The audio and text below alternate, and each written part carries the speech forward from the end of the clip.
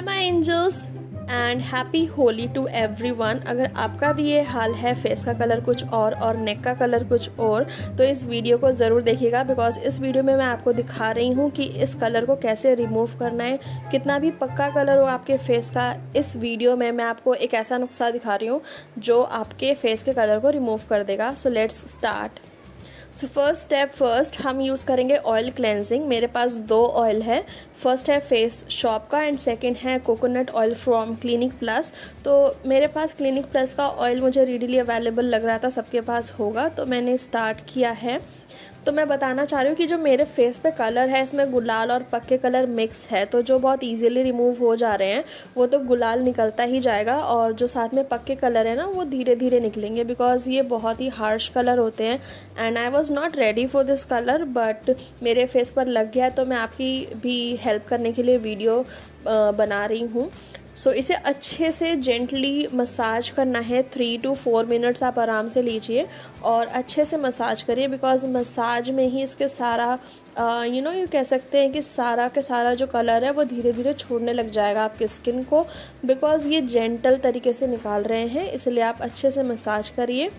Then किसी भी soft cloth sorry soft cloth को लेकर अपने फेस को अच्छे से वाइप आउट कर लीजिए और ये सारे कलर वाइप आउट हो जाएँगे ईजिली और जो नहीं हो रहे हैं डोंट हेसिटेट और टेंशन लेने की कोई बात नहीं है। हम इसे आगे भी अच्छे से निकाल लेंगे।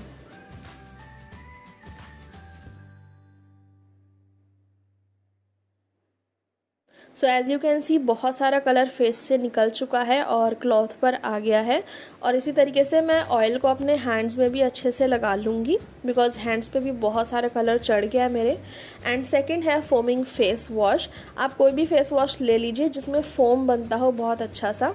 मेरे पास ये वाओ का वाइटामिन सी फेस वॉश है और इसके ऊपर जो स्क्रबर लगा हुआ है, ये जेंटल है सिलिकॉन बेस तो ये बहुत अच्छे से फिज़िकली यू कैन से कि फ़िज़िकली रिमूव करता है आपके जितने भी स्टेन्स वगैरह है।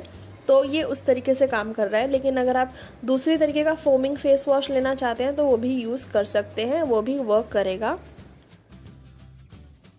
तो इसे मैं अच्छे से लगा रही हूँ अपने फेस पर और धीरे धीरे स्क्रब भी कर रही हूँ। हैंड मूवमेंट भी यूज़ कर सकते हो आप। एंड यू कैन सी बहुत ज़्यादा कलर निकल रहा है and I am really happy with that इसमें भी आप जेंटल मसाज करिए बिकॉज़ हमें स्किन को नुकसान नहीं पहुंचाना है। अब मैं इसे पानी से वॉश कर लूँगी और अब मेरा हैंड का जितना बच गया है, मैं उसे भी वॉश कर ले रही हूँ।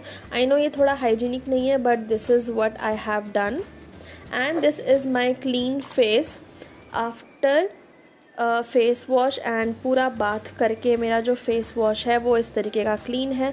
So I hope you guys enjoyed this video अगर वीडियो पसंद आए तो लाइक करेगा सब्सक्राइब करना मेरे चैनल एंड कॉमेंट में ज़रूर बताना कि वीडियो कैसी लगी। So I will see you in my next one bye bye take care love you